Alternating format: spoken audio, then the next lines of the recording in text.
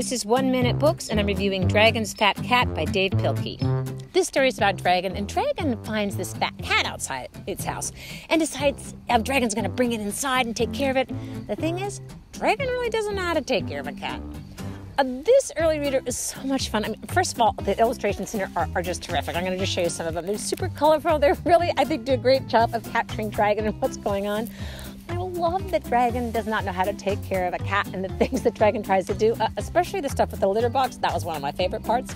Um, if you like books that are funny, uh, that would be great for an early reader, um, you'll love this one. Give it a chance. Oh, if you like dragons and cats, it makes it even better. Uh, for more information on it, check out my description below.